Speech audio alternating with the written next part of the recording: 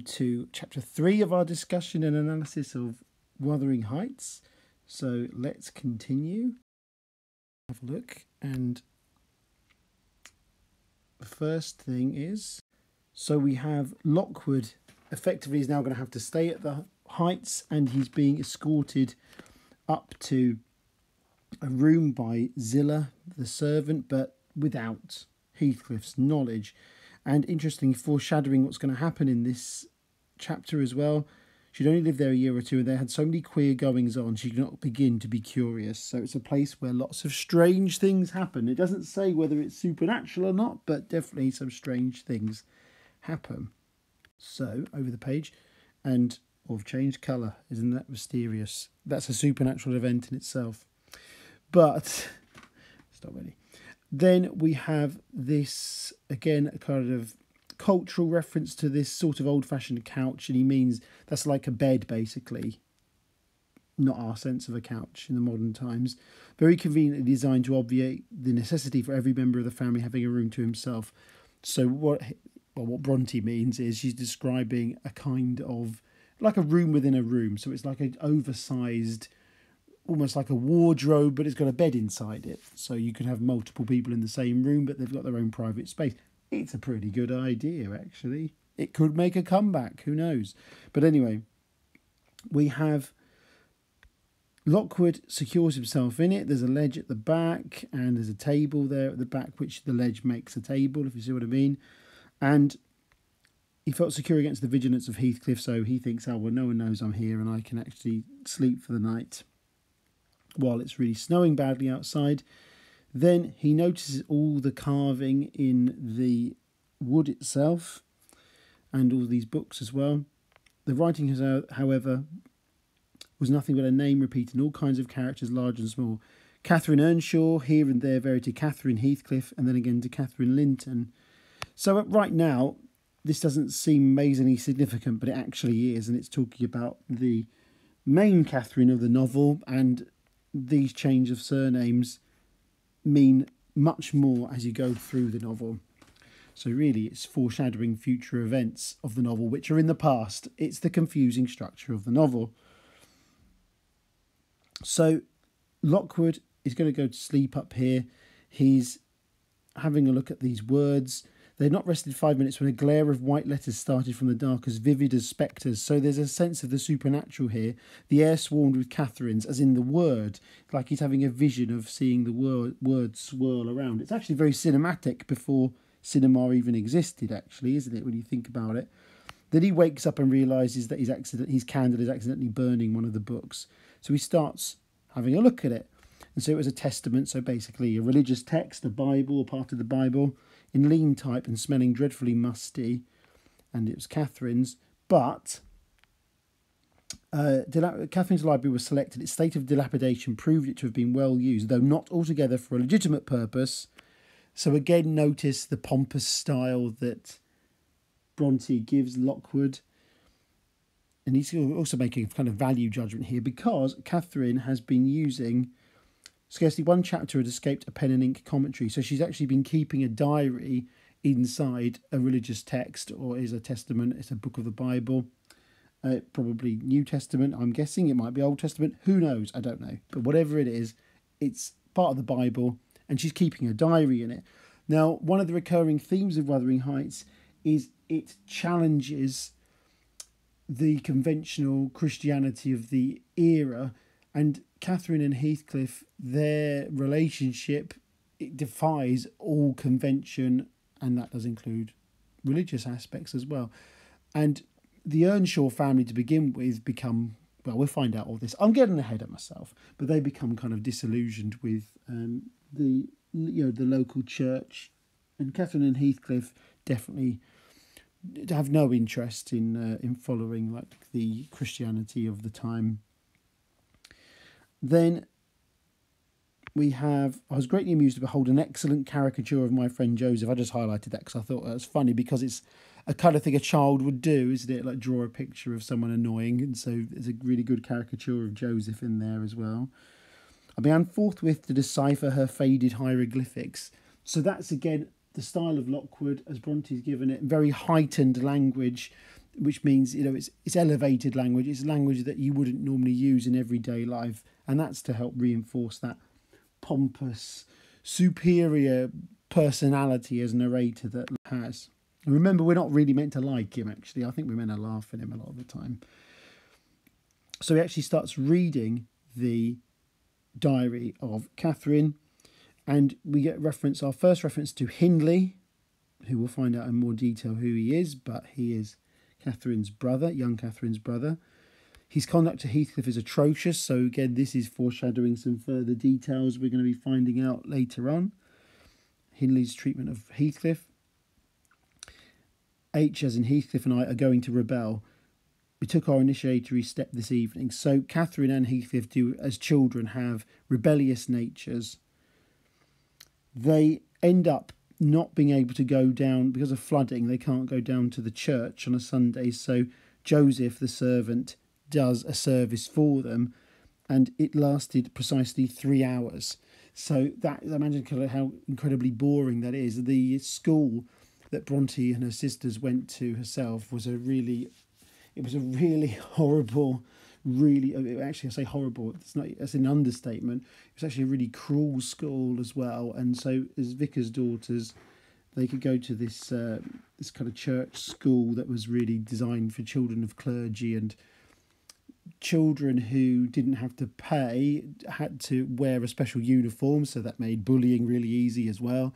But the school was also so abusive. Children died at this school. It was really horrible. But anyway as bad as that was, another aspect of it which was bad, which I think Bronte might be tapping into here, and why the novel doesn't present Christianity in a particularly favourable light, is because the this school would march the girls across the uh, across the land. I couldn't think of the word then. They'd march them across all the farmers' fields and things and the footpaths, it through all kinds of weather with inadequate clothing on to get there and when they get to the church, they'd have to. It was a couple of hours across the fields.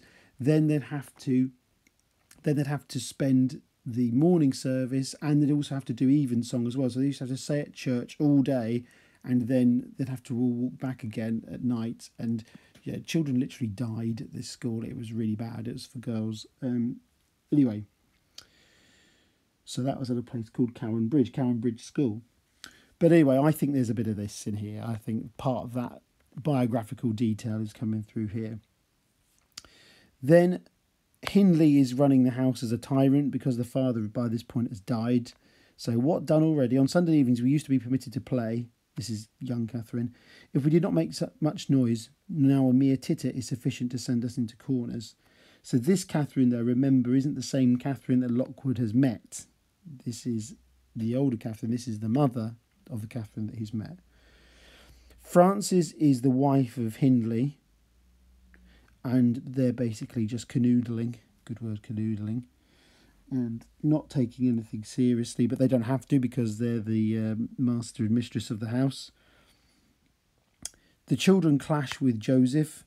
It's good enough, it's books enough if you read 'em. Sit you down and think of your souls. So their reaction to Joseph's enforced religious sermon is to took my dingy volume by the scroop and hurled it into the dog kennel, vowing I hated a good book. Heathcliff kicked his to the same place. So again, you can see the symbolic rejection of Christianity effectively here from the young Heathcliff and Catherine as well. So I just saw that I accidentally cloned a page there, but it doesn't matter. So we have Joseph again, Master, come hither. Miss Cathy's riven the back of the helmet of salvation. Unheath paused his fit into first part at his broad way to destruction. Basically, it's just Joseph in his own kind of religiously hypocritical way. He's concerned about Catherine and Heathcliff's rejection of Christian teachings and he thinks they're on their path to damnation, basically. Then they lock Joseph locks them up. Old Nick, that's a reference to the devil as a nickname of the devil there. It's where the word nickname actually comes from, actually. And we each sought a separate nook to await his advent. So this is Catherine's private diary, so it's not necessarily meant to be read by anyone else, but you can see that she's got complete contempt for Joseph's uh, teachings there. Not only that you know it's boring, but they just they're just rebellious, aren't they? Really. They have this idea of actually then sneaking out and then yeah, they feel sneaking out and running across the across the moors. A pleasant suggestion, and then if the surly old man come in, he may believe his prophecy verified. We cannot be damper or colder in the rain than we are here. So they think, well, actually, we could sneak out, and then he'll think we really have been taken by the devil. Ha ha ha! And Off they go running off. So it's quite controversial kind of ideas for the time when you think about it. So we have a skip in time here. So the idea of, I suppose Catherine fulfilled her project for the next sentence, took up another subject. She waxed lachrymose. Again, look at the language that Lockwood is given by Bronte. It's very elevated, very high, heightened. Lachrymose is, is related to crying, basically. But how often do you hear that word every day? You can now, but you don't use it every day normally, do we? So she's been crying, you see. Poor Heathcliff Hindley calls him a vagabond and won't let him sit with us nor eat with us any more, and he says he and I must not play together and threatens to turn him out of the house if we break his orders. He's been blaming our father, how dared he, for treating Heathcliff too liberally, and swears he will reduce him to his right place. So this is again is designed to intrigue the readers because you think, oh, hang on, Heathcliff is really wealthy now, you know, in the present day of the novel of Lockwood's time. But Heathcliff here, he seems to be very much abused and reduced to a kind of servant status effectively. And but it's so what's gone on? So this is designed to intrigue. Then we have more of Lockwood is falling asleep and he has these dreams about this religious service actually coming up here. The Reverend James Branderham in the Chapel of Gimmerden Sough. So this is basically, in effect, actually, yeah, as a reverend, that's not technically the right word, but it is technically, um, I think it would count as a vicar. Then we have he has another dream. I began to dream almost before I ceased to be sens- sensible of my locality. So this is all good because Gothic fiction, you often have like liminal spaces, and liminal spaces are places between places, and that includes dreaming. You know, when you're between asleep and awake, these or, or when you're nodding off, and that kind of drowsiness between sleep and wakefulness. And then dreams themselves are like liminal spaces where the normal rules of reality are suspended and altered. So he basically has this extended dream, imagining that he's walking back with Joseph, and then he ends up. They end up in the chapel. This is still in the dream. This is all in the dream. An elevated hollow near a swamp whose peaty moisture is said to answer all the purposes of embalming on the few corpses deposited there. So that's a very gothic image of there's a basically a chapel and where people dead boys, bodies are buried they're basically being kind of mummified and preserved by the peaty earth that's around it. So it's a very kind of gothic image there as well. But it also links to nature as well. And a lot of the themes in this novel is there's an idea of the transcendent power of nature as well. So if corpses are being preserved in the peat, it's like there's a sense of time is being kind of overwritten from its normal rules effectively, but it's by the power of nature, even though that is what happens in nature actually. But then he's got this incredibly long sermon divided into 499 parts, each fully equal to an ordinary address on the pulpit and each discussing a separate sin. So Lockwood is having a dream about being a very boring religious service. It's uh, not a very exciting dream, at least so far, but it does up a little bit actually, thinking about it. Eventually, James the vicar kind of turns on Lockwood. The brethren execute upon him the judgment written. Such honour have all his saints. So James, the, the in this dream, James Branderham, the the vicar, sets all of the other churchgoers on Lockwood. I like to imagine this is like a those scenes like from a zombie film, and he's being attacked by people with loads of. It says they've got clubs and sticks and things. They've got this sort of. It's not really like zombies, but that's how I imagine it anyway. I think quite quite a fun image. That it turns out it was only the branch of a fir tree. When he thinks he's being hit by these clubs, it turns out that it's just a tree knocking against the window and he wakes up. So Lockwood's having a very peculiar night, but it's about to get even more peculiar in the most famous or one of the most famous sequences in the whole novel, which he has now it could be a dream it could be some kind of supernatural vision it could you know really be a ghost you can decide that as you're looking at it as well.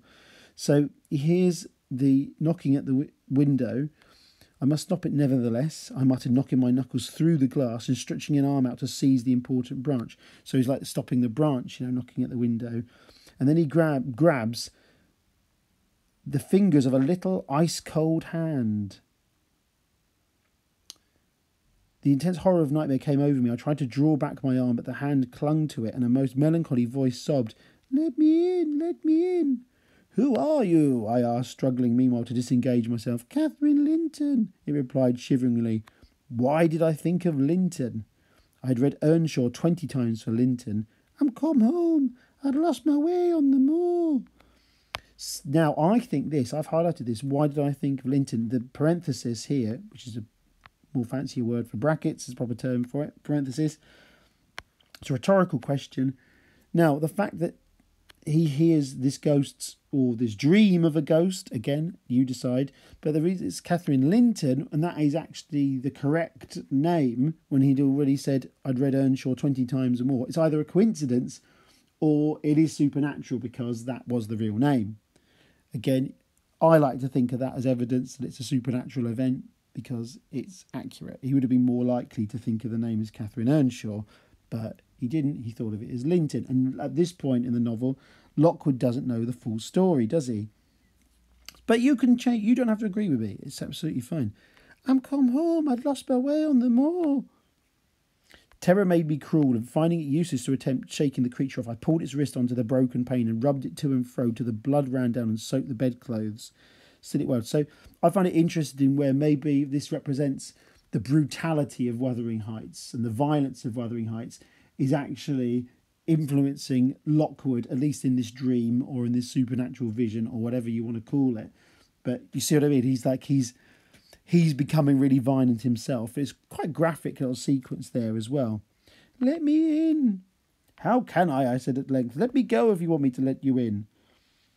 Fingers relaxed, I snatched mine through the hole, hurriedly piled the books up in a pyramid against it. Because remember, if you want to stop a ghost from sticking its arm through a window, just pile some books up in front of it, basically. That's absolutely fine. Ghostbusters didn't need all that equipment, just a pile of books. It is twenty years, mourned the voice. Twenty years. I've been away for twenty years. So there's details in this dream or vision or supernatural experience that are proven later on in the novel to be accurate.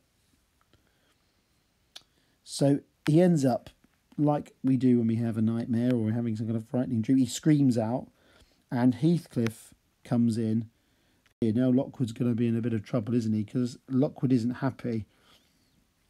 No, Lockwood, sorry, Heathcliff isn't happy because Lockwood is in this room he's not meant to be in. But Lockwood isn't happy anyway, is he? But anyway. Then Lockwood condemns Zillah as thinking he set him up, basically, like she wanted to prove that this room was haunted. So Lockwood very quick to blame a poor innocent servant well, maybe she did do it, but I don't think she did. I suppose that she wanted to get another proof that the place was haunted at my expense. Well, it is swarming with ghosts and goblins. So more supernatural references there as well. You have reason in shutting up, I assure you. No one will thank you for a doze in such a den. What do you mean? asked Heathcliff. And what are you doing? Lie down and finish out the night since you are here. But for heaven's sake, don't repeat that horrid noise. Nothing could excuse it unless you're having your throat cut. So Heathcliff is unaware of the supernatural experience that Lockwood has had.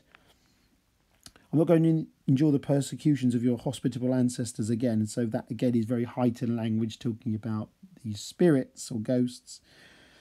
He mentions about James Branderham. And that oh yeah, and that makes Catherine Linton or Earnshaw, however she was called, she must have been a changeling, wicked little soul. Changeling supernatural reference there because that is um, a type of fairy. There is a folklore thing of when um, fairies would swap a fairy baby with a with a human baby and kidnap the human baby and leave the changeling behind. She told me she'd been walking the earth these 20 years, a just punishment for her mortal transgressions, I've no doubt. So Heathcliff does react to this because these details are accurate. So it ends in that exclamatory um, exclamatory sentence there. And then again, remember last chapter, Lockwood made loads of social faux pas. Well, here's another one because it's even worse this time because he because Lockwood realizes, oh, Catherine Linton knew Heathcliff, didn't she? Yeah, so he's goofed. So another faux pas, but this one's much worse. But luckily, he stops himself from giving away too much, so he pretends to have more limited knowledge than he actually does. And a rare moment of wisdom from Lockwood, actually. So he makes out it's because of spelling the name over and over again to send himself asleep, like know, effectively like counting sheep. So Heathcliff is initially angry, but he does calm down again, and Heathcliff calms down and he lets Lockwood stay, and he says, "You can stay here or stay downstairs or whatever." And he's going to go as early as possible. Lockwood's going to go back as early as he can because he's completely spooked out and it's not been very welcome. Heathcliff stays though because Lockwood can hear Heathcliff in the room. Come in, come in, he sobbed. Catherine, do come. Oh, do once more. Oh, my heart's darling, hear me this time, Catherine. At last. So he's hoping that the ghost will reappear, but it doesn't. I've highlighted Grimalkin because it's the name of the cat in Wuthering Heights, and it's a common name. And if you do Macbeth, you'll know this anyway, but it's a common name for a witch's cat. So it can't be a coincidental choice from Bronte there, considering what we've read so far in the novel, is it really? Then we have an encounter with miserable old Joseph as well, but I'm not going to dwell on that one. Also, Hareton Earnshaw, who basically starts getting up swearing, but because of the era in which this book is written, we kind of have to imply that actually Earnshaw is knocking into things and swearing, trying to find stuff, trying to find a spade, I think, actually, yeah, to dig out the snow, isn't it? So then again, because of the time it's written, sometimes you've got to look more carefully and you read between the lines and you see things.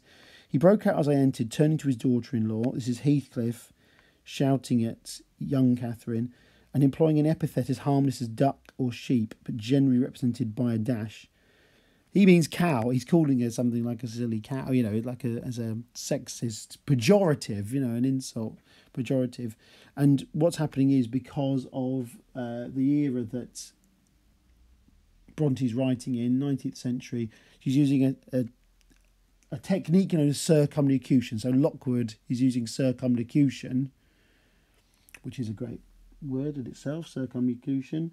So it's like circus, but with an M, and then locution, L O C U T I O N. And it means just talking around something. So he's trying to not be rude himself.